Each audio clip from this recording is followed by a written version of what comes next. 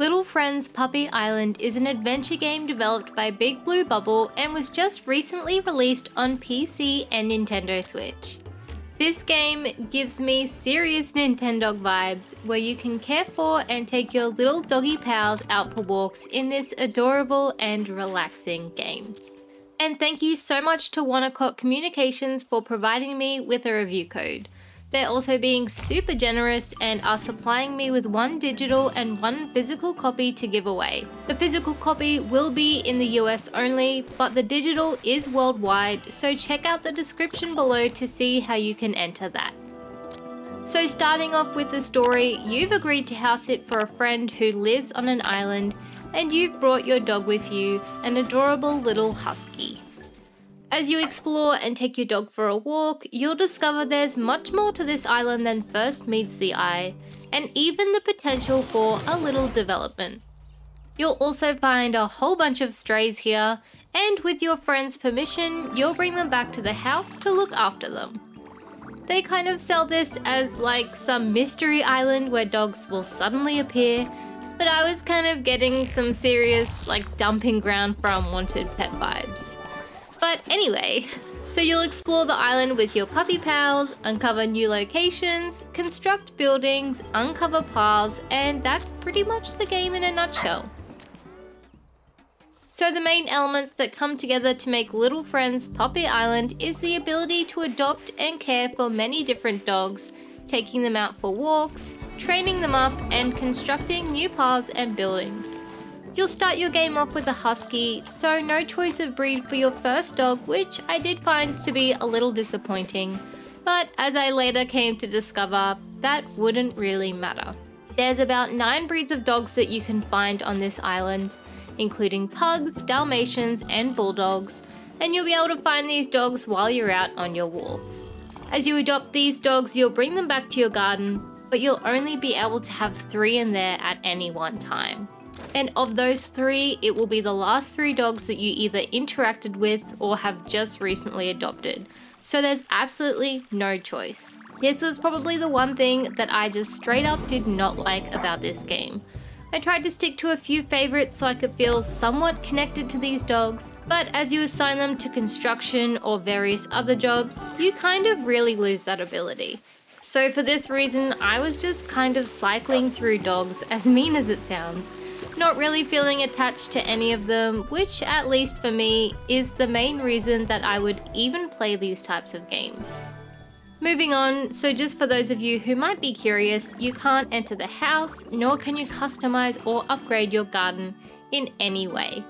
95% of your time will be spent taking your dogs out for walks, but having this feature would have been nice. Starting off, you'll only have access to one area, being the forest that lies just beyond your friend's house. But as you progress, you'll unlock new areas, eventually having a total of six different locations to explore and walk your dogs. As you walk your dogs, you'll come across these obstacles of sorts, and this is where your dog's stats come in. Your dogs all have five abilities that can be trained up, including obedience and endurance. As you walk your dog, complete obstacles, avoid distractions, play fetch and more, you'll be able to level up your dogs in these abilities. As you come up to obstacles during your walks, your dogs will need to have a minimum level in some of these abilities in order to pass. If you do meet the requirements, a little mini game will occur where you'll have to finish it successfully to pass the obstacle. These mini games are incredibly easy and relatively quick. They'll include button mashing, balancing, eyeballing a jump, and so on. While you need to complete a lot of these obstacles, and quite often, I never really did get sick of them because they were super quick and super easy. But I can see where some people will get quite annoyed having to complete these over and over again. I more so found it frustrating when I couldn't actually do the obstacle because I didn't meet the requirements and then I had to go back and focus on training up my dog a bit more. Leveling up these abilities will also provide other benefits such as increasing your dog's endurance so they can walk for longer without getting tired and how fast they can run. So as you explore, you'll communicate with your friend via text and you'll both kind of agree that there's an opportunity to build up a few things to improve the island. You'll begin by building a little shop store where you can purchase some toys and clothes for your dogs, and then move on to build various other structures. The game will ultimately consist of you somehow getting the idea or being directed to build something. You'll find a good location, allocate some dogs to the construction, find materials around the area, complete the build, and repeat. Every so often, one of these builds will be to unlock a new path that will lead you to a new location. When I say it like that, it does sound a little bit boring, but honestly, I found it interesting to have new buildings, see what they offered, level up your dogs to explore new paths, find new locations, and just play out the story. The new buildings you'll make can give your dog some jobs where they'll be able to supply you with a bit of an income, or they can offer a service such as training up your dogs for you.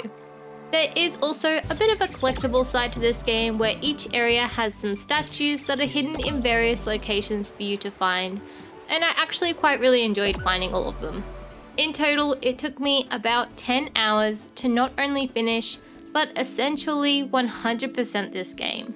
I got all but one trophy, and on that note, if anybody knows how to activate DK mode, please let me know. But yeah, really not a long game. After you finish, you can continue to walk your dogs, level them up, dress them, and whatever else. But for me, I was completely done with the game as soon as the story finished. As someone who grew up playing Nintendogs on my Nintendo DS, I found this game to have a very nostalgic feel to it. The look of the game, the animations of the dogs eating and catching frisbees, all of it reminded me very fondly of Nintendogs and for that reason, I did like the look of the game, even though I'd say the art style is more directed at kids. I did find the overall details in the areas a bit lacking. Even as you develop this island, you'll never encounter another human being, either managing one of the shops or walking their own dogs. You're very much alone on this island, and in this way, the areas feel very empty. I found the soundtracks to be decent, as I almost exclusively played this game just before I went to bed each night, so I found it to be very relaxing and pleasant. I did experience a few off things during my gameplay. Firstly, three times during my 10 hour playthrough, my game sort of froze, not letting me use any buttons and I had to reset, causing me to lose some progress. I also had a range of other graphical glitches like puppies walking in place and small things like that. So I wouldn't say anything really major, and overall, I did have a good experience. But the game freezing did really frustrate me when I had to repeat things due to lost saved data. So, considering the content, the length of the gameplay, and the performance of the game, is this game worth $70? No. Sorry, but 100% no. If I had purchased this game for myself and paid full price, I would be disappointed. I can honestly say I enjoyed the game and I think it will appeal to many people, but charging nearly the same price as games that have complex gameplay and 70 odd hours of content just doesn't seem fair. I would have loved many additions to this game such as decorating the yard, being able to enter and decorate the house, having one or two dogs that are well and truly your dogs and then maybe adopting or fostering the other dogs that you care for, having some humans around to run the shops or seeing other people walking their dogs. Just these few little details would have greatly improved the game for me and made it worth that $70 price. Again, loved the game, I did enjoy playing it, but I just can't fathom why they set the price as they did. So honestly, all the more reason to enter the giveaway. Details are in the description below. Thank you so much for watching my video. I hope it was somewhat helpful. I hope you have a fantastic day and I will see you in my next video. Bye!